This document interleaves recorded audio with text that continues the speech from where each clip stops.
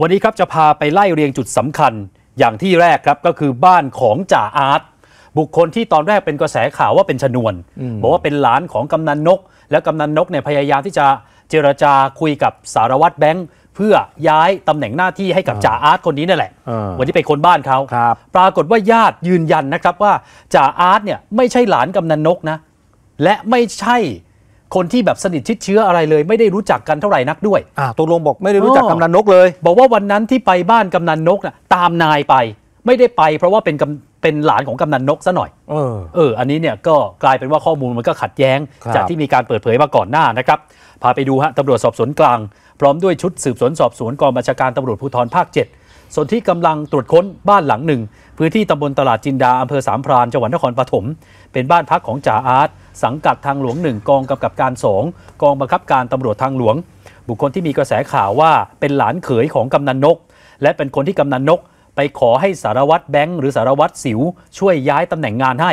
จนเป็นหนึ่งในปมเหตุที่มีการยิงกันในงานเลี้ยง เบื้องต้นไปไม่เจอจ่าอาร์ตครับ แต่ไปตรวจเจอปืนตั้ง 9 กระบอก เป็นปืนยาว 3 ปืนสั้น 6 ทีมข่าวไปคุยกับนายอานนท์ที่เป็นอาของจ่าอาร์ตเขายืนยันว่าครอบครัวรวมถึงตัวจ่าอาร์ตไม่ได้เป็นญาติกับกำนันนก และไม่ได้รู้จักกับกำนันนกเลย ไม่ได้เกี่ยวข้องกัน หรือสนิทสนมกันแต่อย่างใด ไม่เพียงเท่านี้ครับ พอไปถามคนแถวบ้าน คนก็ไม่เคยได้ยินชื่อคำว่ากำนันนกเลยด้วยซ้ำพอบอกว่ากำนันนกรู้จักไหมไม่เคยรู้จัก อืมส่วนตัวก็รู้สึกแปลกใจว่าทำไมข่าวมาถึงออกมาแบบนี้ เชื่อว่าสาเหตุที่หลานไปงานเลี้ยงวันเกิดเหตุเนี่ยก็แค่ตามเจ้านายที่เป็นตำรวจทางหลวงเท่านั้น ไม่ได้เกี่ยวข้องอะไรกับกำนันนกตามที่เป็นข่าวครับที่ตอนแรกที่เขาออกมาว่ากำนันนกเนี่ยมาขอตำแหน่งให้หลานที่เป็นคนเนี้ย ไม่ได้เป็นหลานไม่ได้เป็นเกี่ยวเคียวญาติอะไรเลย ไม่เกี่ยวอะไรเลย ส่วนตัวก็ไม่ได้สนิทด้วย ไม่มีใครสนิททั้งนั้นไม่มีใครรู้จักหรอกขนาดในเครือญาติอะนะในบ้านครับหลังนี้ครับไม่มีใครในบ้านหลังเนี้ยไม่มีใครรู้จักกำนันนกหรอก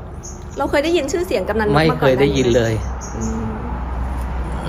มันอยู่คนละเขตกันครับ ไม่รู้จักอย่างเงี้ยงงไหมว่าทำไมงงถึงไงขายถึงให้อย่างผมเงี้ยก็คาดก็คาดว่าเนี่ยหลานเข้าไปกับนายนี่แหละตามลูกพี่ไป